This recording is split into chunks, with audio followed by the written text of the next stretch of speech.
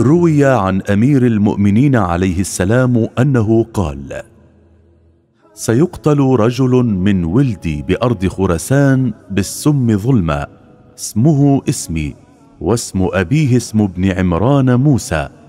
ألا فمن زاره في غربته غفر الله تعالى ذنوبه.